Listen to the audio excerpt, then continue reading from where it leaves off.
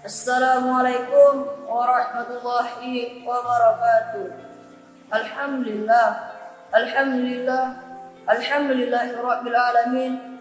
Wassalatu wassalamu ala asrafil anbiya wal mursalin wa ala alihi wa ajma'in.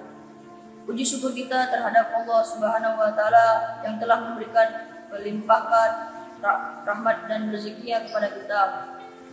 Selamat beriringan salam kepada Nabi besar Muhammad Sallallahu Alaihi Wasallam yang telah membawa kita dari zaman kegelapan ke zaman terang benderang.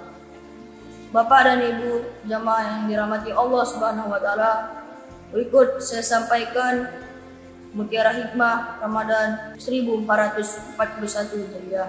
Imam Hasan Al-Basri pernah ditanya oleh seorang sahabat, "Wahai Imam, bagaimana cara hidup tenang, tentram di dunia dan bahagia di akhirat?"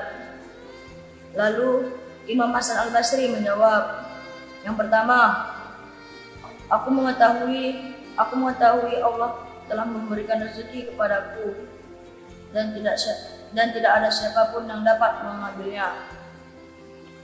Yang kedua, aku mengetahui amalanku tidak dapat dilakukan oleh orang lain. Maka dari itu, aku akan senantiasa selalu melakukannya. Yang ketiga, aku mengetahui Allah selalu melihatku. Maka dari itu, aku malu jika Allah melihatku dalam keadaan maksiat.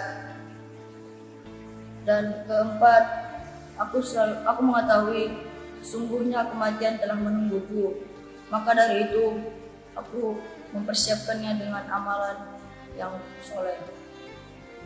Sekian dari saya. Wabillahi taufik wal hidayah. Wassalamualaikum warahmatullahi wabarakatuh.